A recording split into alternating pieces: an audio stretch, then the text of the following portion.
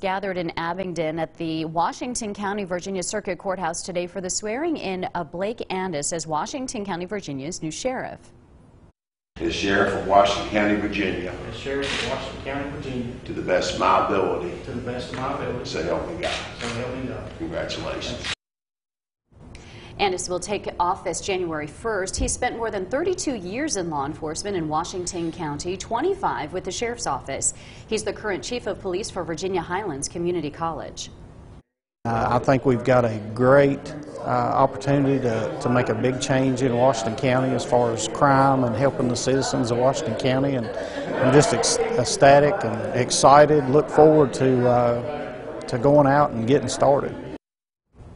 Andis will replace incumbent Fred Newman, who did not run for re-election after 20 years in office.